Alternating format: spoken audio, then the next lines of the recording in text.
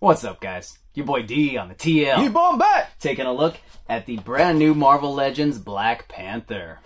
Before we get real into it, though, this just showed up like minutes ago. Um, from from Amazon, interestingly, they they seem to be the first ones to be dropping the pre-order.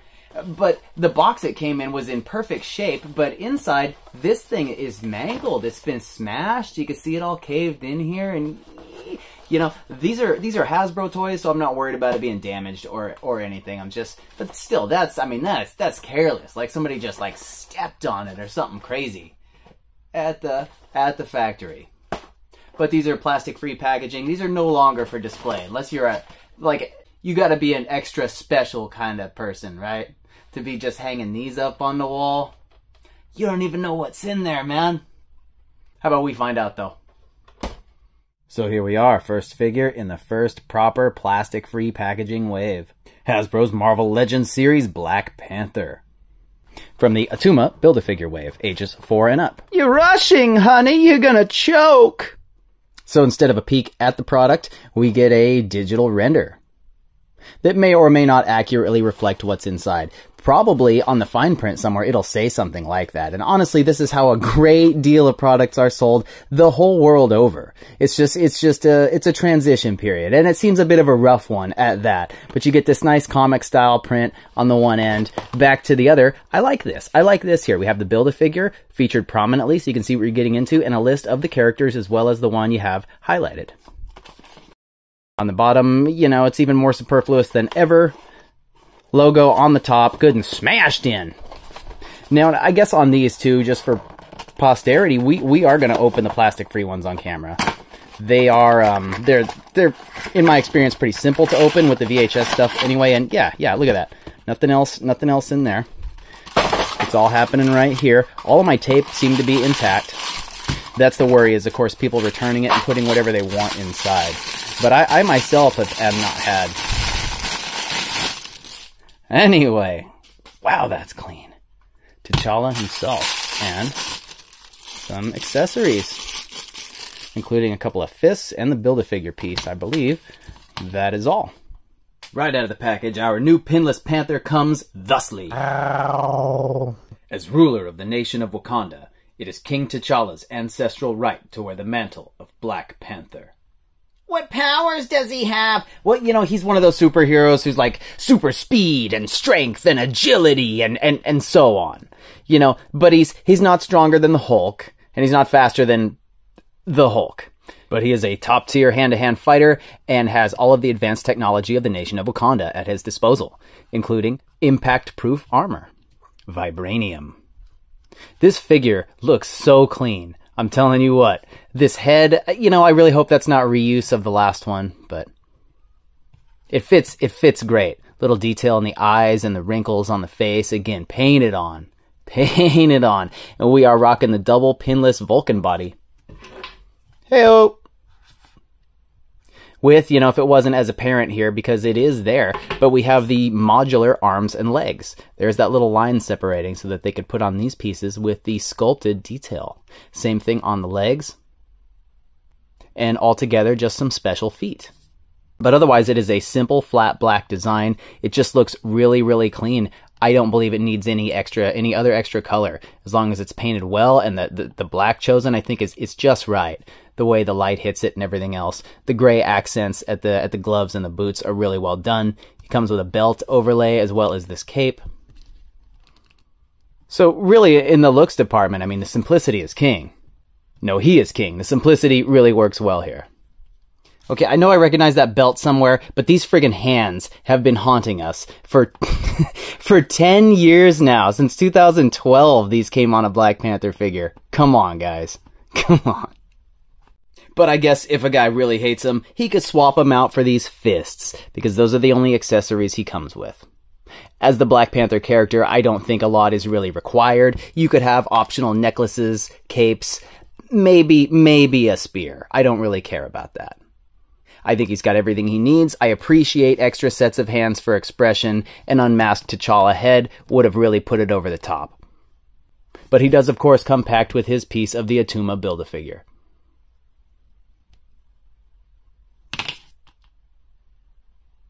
Wow, you guys see that? There's a 1 on that hand and a 2 on the other.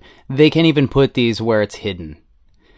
Matter of fact, they can even tell based on the orientation of the thumb relative to the fingers. Who's putting these together? Space monsters? Checking out the articulation, this figure comes on their brand new Vulcan body mold. He is the cream of the crop. Featuring a head on a hinged peg up here, so it'll come back this far. Cape be damned. And down this far. No side to side, not, not, not a lot of tilt up there because they're not just using that little ball. But it works pretty well. You can get a little bit of side eye from your king, you know?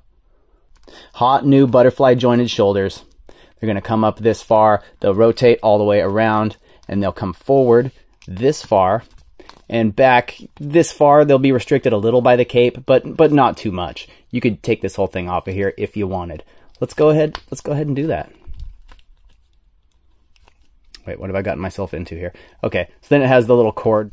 You can just drop that down over the legs. Nice. And you could even you could put this on anybody. There's not even a peg. I like the way that fit though. They're getting better with these all the time. Port that right back on. Clean Panther. Either way, man. Either way, this figure is awesome. And the feel of it too. While we're here looking at the articulation, you guys should know the feel is a lot more premium. It feels like that Renew Your Vows Spider-Man. Not like some sicky, junky, clicky old Bucky Cap figure. So he's got these big yummy biceps with a cut there that'll rotate all the way around. Double jointed, pinless. Yeah, yeah, get both of those joints. That's just, that's fantastic. And it looks oh so clean. Hinged fist at the wrist, coming in, coming back, and it'll rotate, of course. There is a cut here, but this isn't articulation. This is just how they uh, interchange the forearms for the molds. I think that's great. Modular. I think diaphragm cut would have been preferable, but here we are with the ab crunch coming way down, coming way back, and that waist cut that'll rotate all the way around. Hidden nicely by the belt. Put that wherever you want. Down here at the legs, they're going to come out to the sides here to do the splits pretty well. It's not a drop down condition, I don't think. No. But you get really nice range out of that. Same to the front, to the back, you're going to run into the butt.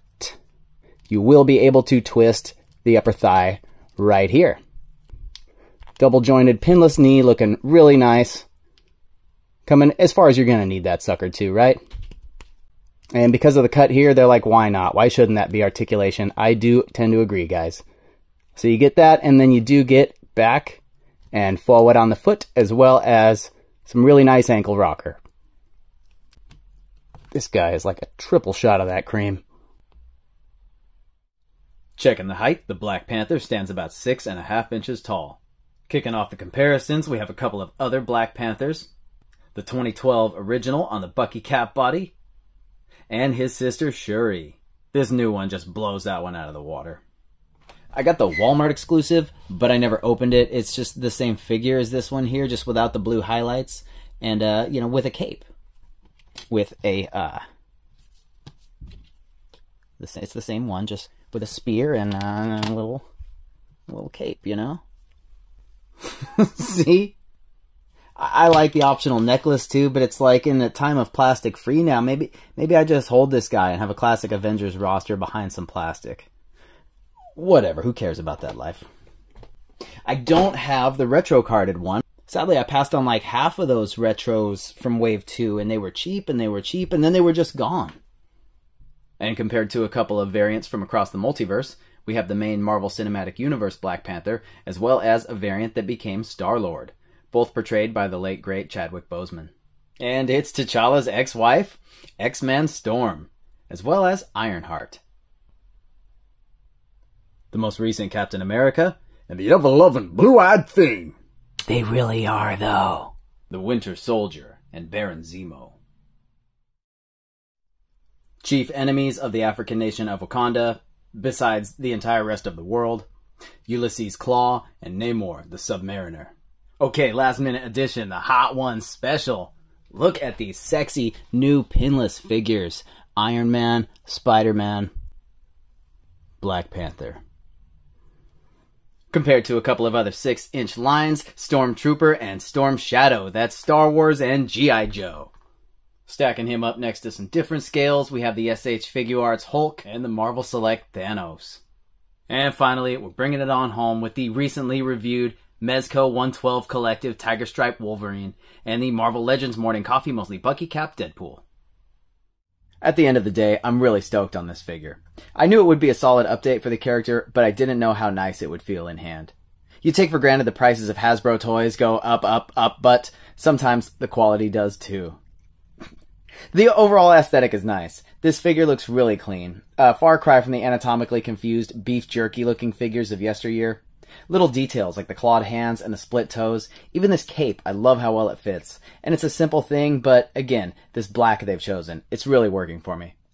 I don't think BP needs a lot accessory wise, but I'm always game for John Francis Moorhead. Now, this is a new Marvel Legend on a new body mold, and it's damn near as good an action figure as you're gonna find for 25 bucks.